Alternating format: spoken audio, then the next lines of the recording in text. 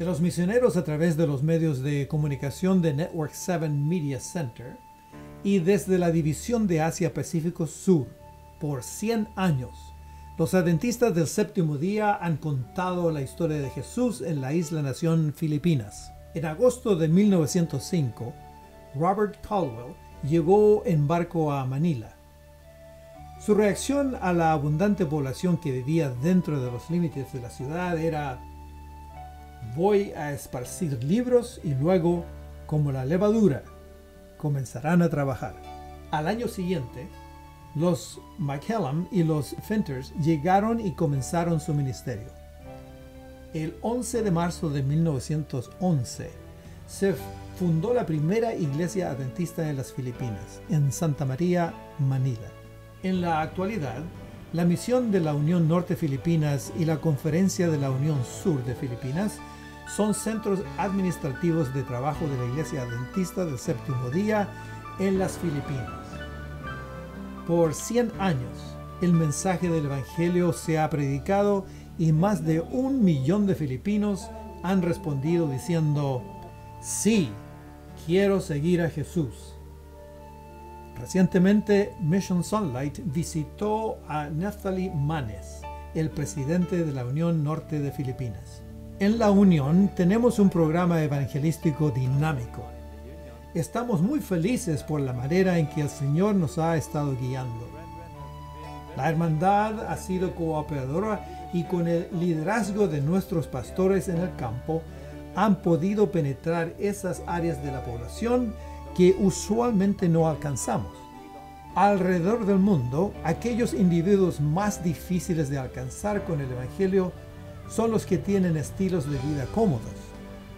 Más y más personas vienen de los sectores acaudalados y estamos felices con el desarrollo que tenemos. Se han obtenido muchos resultados exitosos con iniciativas tales como evangelismo integrado de estilo de vida. Estamos usando eso para ayudar y estamos felices con la forma en que nuestra gente ha respondido. La misión de las grandes ciudades es parte del alcance de conjunto en las Filipinas. Cuando el pastor Wilson vino para ese evangelismo planificado, el cual se llevaba a cabo aquí en Manila, ese en realidad fue el comienzo del plan masivo de conjunto para toda la conferencia. Las reuniones en Manila han animado y llenado de energía a nuestros hermanos y hermanas filipinos, los cuales han extendido su esfuerzo fuera de la ciudad grande. Nos vamos a esparcir para hacerlos en las misiones y conferencias locales.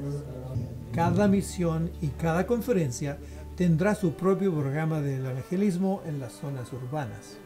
Como cristianos que somos, hemos sido llamados a compartir el Evangelio con los otros.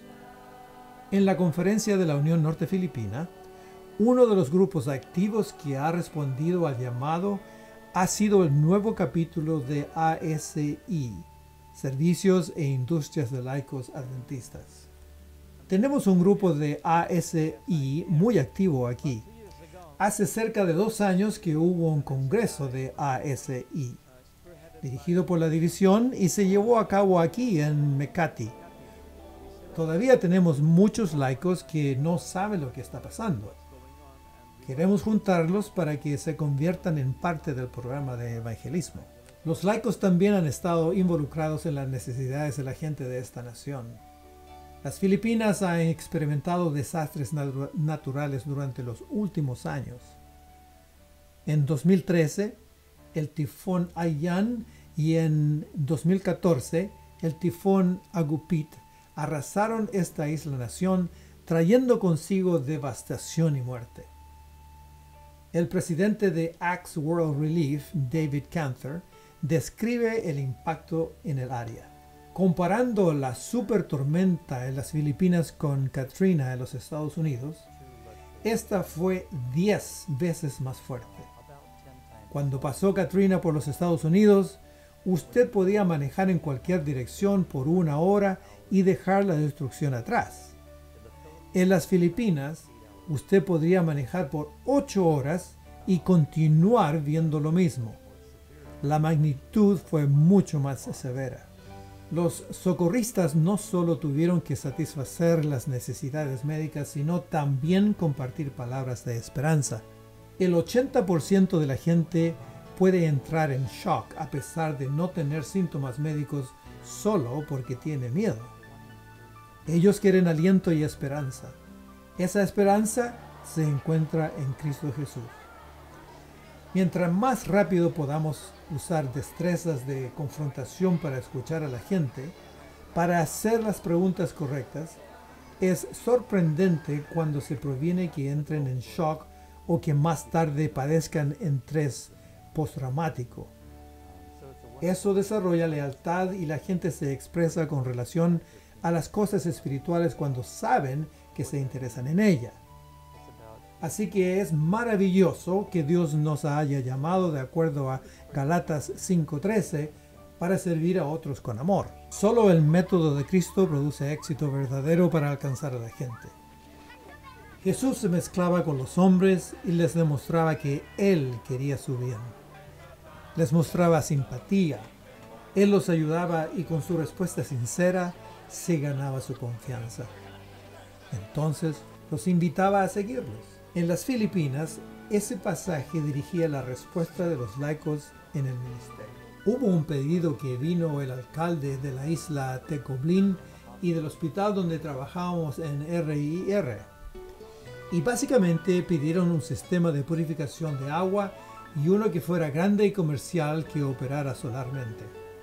Así que dentro de una semana tuvimos una gran compañía auspiciadora que donó un gigantesco sistema de agua que operaba solarmente. Instalamos uno en el frente para que el hospital pudiera usarlo.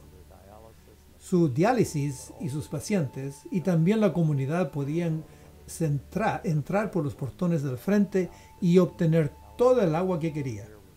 Instalaron otro en el municipio de la ciudad y el alcalde estaba encantado miles de personas obtenían agua allí.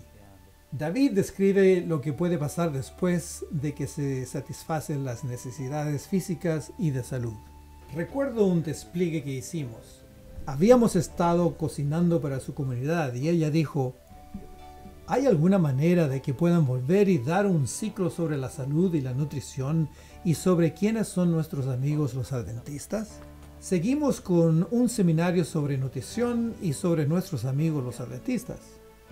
Es un gran método evangelístico que Dios está usando por medio de miles de personas alrededor del mundo para que puedan satisfacer las necesidades. Llegar a la gente con buenas noticias y con la gran esperanza constituye el núcleo de lo que es contar la historia de Jesús en todas partes y aquí en las Filipinas. Estamos realmente felices por la oportunidad que es de ser parte de esta obra que nosotros creemos ocurrirá en los últimos días y estamos contentos por el apoyo de la conferencia general. Estamos contentos por el apoyo de la división y estamos felices por el apoyo de personas como ustedes. Todavía hay muchos corazones y mentes en las Filipinas que necesitan ser tocados por la historia de Jesús usted puede jugar un papel en la propagación del mensaje del Evangelio por medio de las ofrendas que dé el sábado 26 de septiembre.